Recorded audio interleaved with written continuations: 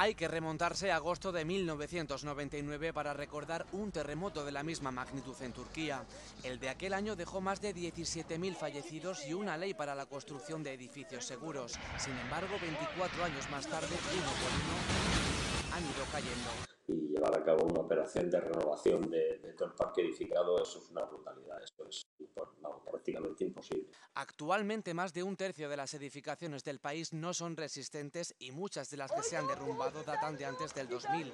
Edificios para nada aptos en una de las zonas sísmicas más activas del mundo. Desgraciadamente en las próximas semanas los turcos van a seguir eh, notando terremotos. La falla después de un gran movimiento se acomoda produciendo todos estos movimientos sísmicos.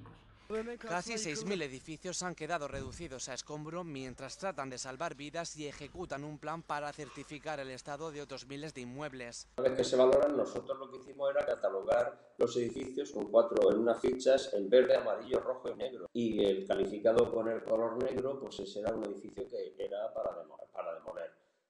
La prevención y ejecución de planes antisísmicos es fundamental en un país que ha sufrido más de 90 terremotos de más de 5 grados desde 1903.